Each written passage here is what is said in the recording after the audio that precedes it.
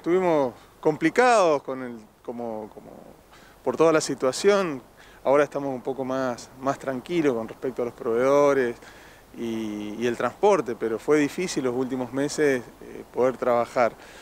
Eh, por suerte hemos estado trabajando bien y fuerte, no, no paramos de trabajar y eso en realidad en esta época eh, fue muy difícil eh, para otra gente, nosotros seguimos trabajando porque además de, elaboradores de, bebidas alcohólicas, somos fraccionadores de alcohol.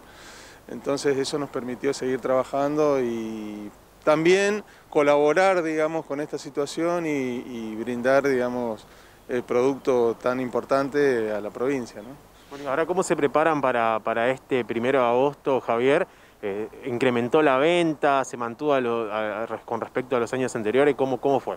Teniendo en cuenta también que no tenemos hoy la, la, frontera cerrada. Eso, eh, sin ninguna duda, favoreció eh, las ventas. El hecho de que se hayan cerrado las fronteras,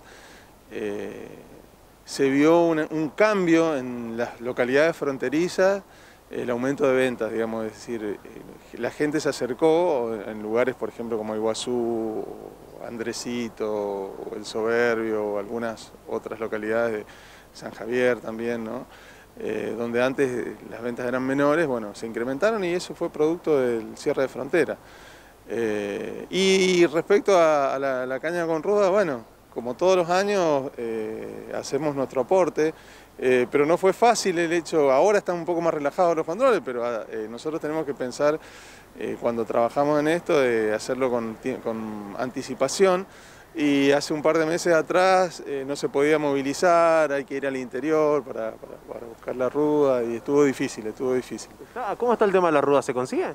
Y más o menos, está difícil. Está ¿Hay difícil. poca producción de eso o no? Como que la gente está dejando un poco. Es, es, es, es silvestre cada uno tiene, en realidad nosotros aportamos la, la, la, caña y la gente tiene en su jardín la, la ruda y, y, y prepara su, su infusión de la forma que más le gusta, donde hay muchísimas formas. ¿no? Claro, claro. Bueno, esta tradición, ¿cómo, cómo ves, eh, Javier, tantos años trabajando con esto, sabiendo que ya primero de agosto, la tradición sigue vigente, bajó un poco? No, hoy está más vigente que nunca. Y aparte nosotros tenemos un eslogan que es eh, la caña que tiene Payés, justamente haciendo un, un doble juego con, con, todo lo que significa esa mística, esa magia, digamos, y ese que tiene la bebida, digamos, eh, ancestral, si se quiere, esa combinación de, de magia y, y, y, bebida alcohólica, bueno, y nosotros aportamos lo nuestro, como siempre dije. Bueno, y ahora el tema de la venta, eh, ¿cómo estuvo el, el, salir un poco de la provincia? ¿Se vendió bien?